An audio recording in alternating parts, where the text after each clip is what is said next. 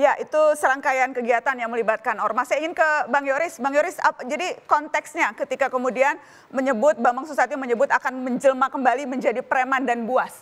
Saya pikir begini ya, jadi jangan kita lihat sepotong.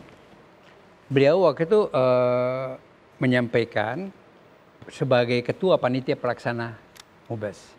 Nah jadi ada, kalau kita mesti lihat secara keseluruhan, kalau sepotong-sepotong bisa saja dia uh, mengatakan uh, sesuai dengan prinsip dan doktrin PP bahwa siapa pun yang mengganggu Pancasila dan pimpinan atau kepala negara maka PP akan tampil terdepan. Dia akan buas kembali. Pilihan kata preman dan buas itu itu sengaja ya? Uh, itu untuk menunjukkan apa? Karena kan selama ini juga kan uh, ada persepsi yang mengidentikan uh, ormas salah satunya pemuda Pancasila itu dengan premanisme. Stigma.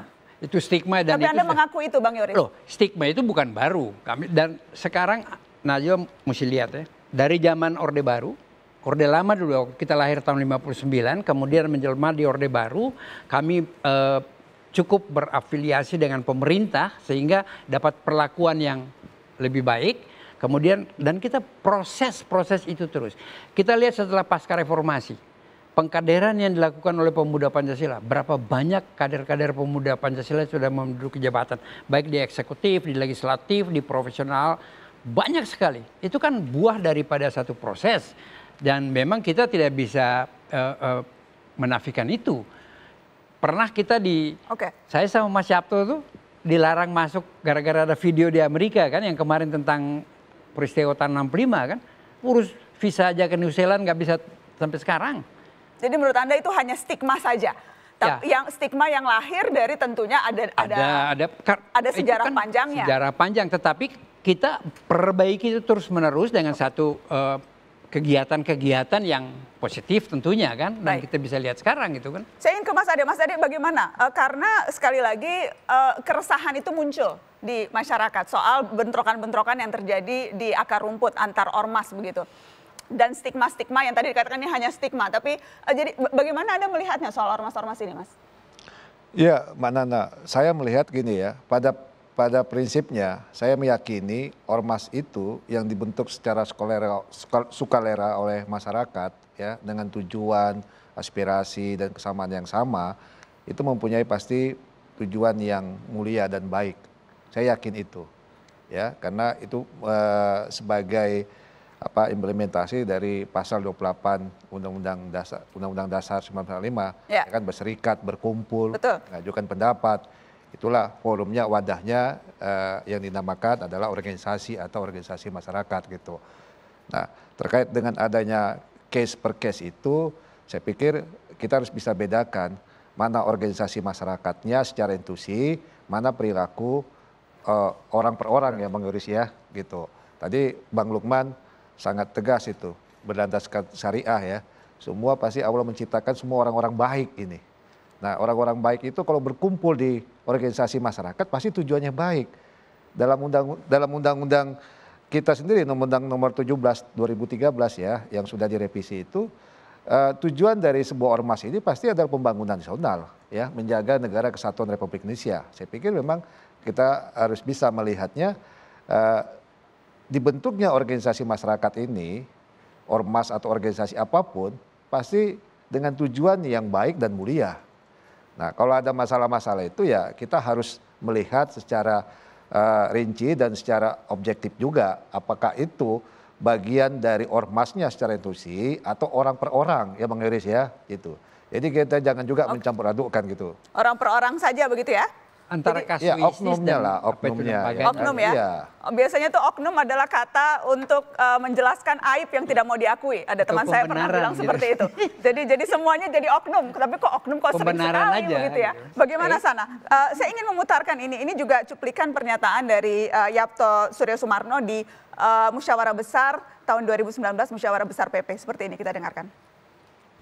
Memang organisasi kami tidak disukai, Pak tapi dibutuhkan.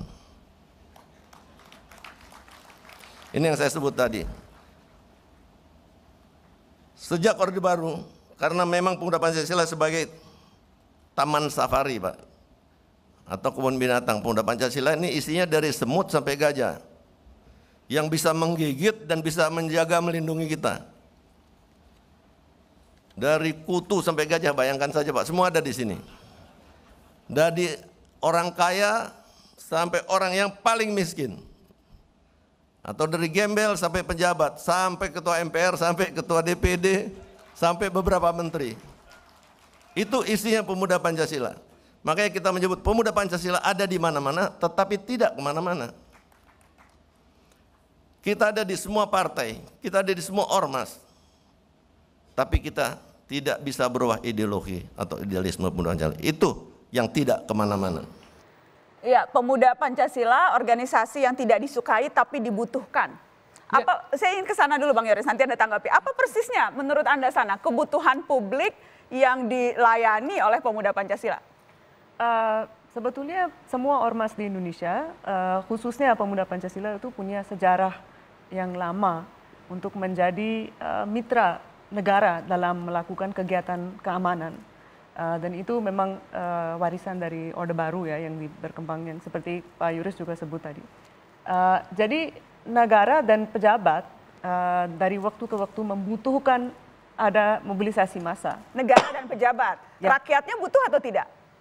Ya rakyatnya lain lagi soal jadi karena tadi kan katanya publik yang butuh begitu. Rakyat ini dibutuhkan rakyat. Tapi menurut anda negara dan pejabat yang butuh organisasi masa Betul. ini? Uh, saya rasa deskripsi yang dari Pak Yapto itu paling tepat uh, untuk apa menggambarkan apa itu pemuda Pancasila. Baik kita akan kita kita sudah ada cuplikan. Uh, kita bertanya ke publik apa uh, pendapat mereka soal ormas? Ini dia cuplikan pendapat publik. Bukan negara dan pejabat ya cuplikan publik. Ini dia. Berfungsi sih kalau kata gue buat ini markir kondangan. Takut sih enggak. Cuma kayak takut rusuhnya doang. Kalau cemas khawatir wajar lah. Karena posisinya ya saya sebagai warga sipil ya pengennya sih aman-aman aja ya. Nggak ada kisru antara oh, ormas sekarang ini sudah berbeda dengan masa lalu. Sudah beda jauh. Kalau masa lalu mementingkan masyarakat luas sekarang ini hanya mementingkan kelompok saja Menurut gue pribadi sih nggak ada sih fungsinya, karena malah bikin masyarakat takut dan bisa ganggu, sebenarnya sih ganggu kayak juga pedagang-pedagang juga sih. Bang Yoris, nggak ada fungsinya bang? Menurut sebagian warga? Saya pikir begini, ini masukan. Koreksi dari masyarakat, kritikan-kritikan itu harus kita terima. Kemudian dari situlah kita mencoba untuk membenahi diri kan. Jadi kalau saya ini masukan yang cukup bagus. Artinya tidak semua kan. Tadi ada yang memang dia takut, ada yang merasa ah itu biarin saja, ada yang bilang dulu berbeda dengan sekarang. Itu itu itu satu fakta ya. Tapi bagi kami di Pemuda Pancasila, kami dari waktu ke waktu selalu melakukan kaderisasi, kemudian orientasi-orientasi kami menghadapi tantangan ke depan, kemudian kita ke dalam secara internal kita lakukan kaderisasi terus-menerus dan saya mau sampaikan kan. Coba lihat sekarang ya. Sejak Orde Baru 32 tahun, hanya satu anggota DPR RI dari pemuda Pancasila, Pak Irwan Soekarja. Sejak reformasi sekarang, kami anggota pemuda Pancasila di DPR lebih dari 20 orang. Jadi pejabat mulai dari menteri, kemudian profesor, ketua Kadin itu wakil ketua umum pemuda Pancasila ketua MPR, ketua DPD, okay. kemudian staf khusus wakil presiden. Jadi Anda mau bilang apa Bang Yoris? Kalau saya mau bilang itulah satu proses kaderisasi yang dilakukan oleh pemuda Pancasila okay. dalam kurun waktu yang lama dan sekarang menghasilkan negarawan-negarawan.